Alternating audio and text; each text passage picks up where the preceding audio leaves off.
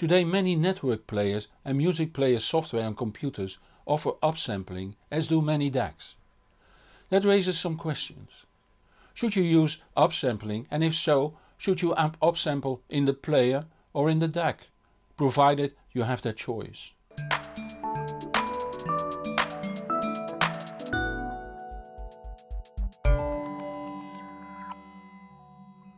Let's start with the first question. Should you upsample? CDs and thus CD rips use a sampling frequency of 44.1 kHz, meaning that the music signal is sampled, measured, 44,100 times per second. According to Nyquist, this gives a perfect registration of music signals up to 22 kHz and this is at least in theory correct. I'll come back to that.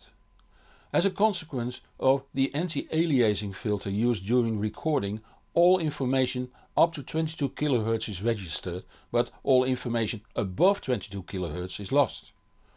By the way, in practice the filtering is set at 20 kHz. But this is of no consequence since only the hearing of young people is capable of hearing 20 kHz. See my video Hearing Loss at Age. I know there are people that think differently but I stick to the general scientific viewpoint.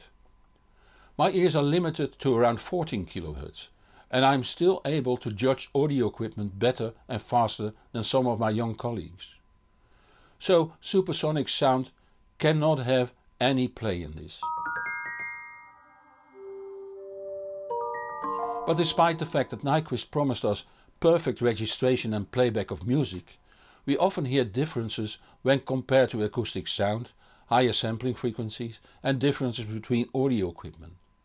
The reason for this, apart from general quality difference between equipment, is the filtering needed for digital registration.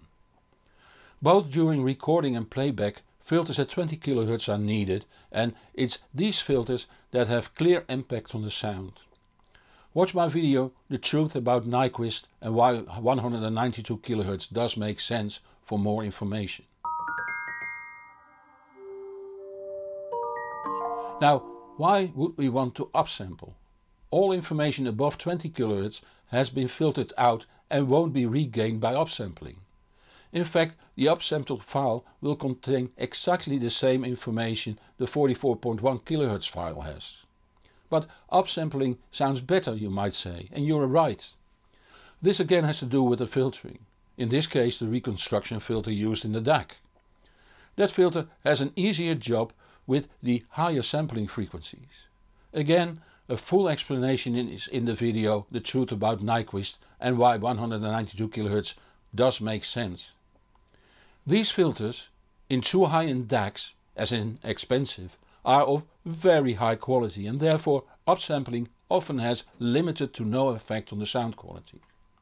But in more affordable DACs these filters do have influence on the sound quality. The lower the sampling rate, the lower the sound quality. In that case upsampling to the highest sampling frequency will make the job for the reconstruction filter in the DAC a lot easier, leading to a better sound. But only when the upsampling is done with high precision. The advantage of doing it in a computer or network player is that these have far more computational power than DAC chips have. Therefore the upsampling can be done better and thus lead to better sound quality. But what if your DAC can also upsample? Should you still use upsampling in the computer or network player? In general I would say yes, but there are also DACs that offer high quality upsampling, usually the ones that do not use standard DAC chips or use a standard DAC chip but have the upsampling done by a separate processor in the DAC. The only way to find out is to try. Just select the best sounding option and if you don't hear any difference choose the one that's the most convenient to you. Always set the upsampling to do only integer upsampling, so 2 times, 4 times and so on. So 44.1 kHz should be upsampled to 88.2, 176.4 and so on. 48 kHz should only be upsampled to 96, 192 and so on. If you for instance upsample 44.1 kHz to 196 kHz, this requires more computational power while rounding errors will occur. Which brings us to the end of this video. It's one of the Q&A videos I've made over time.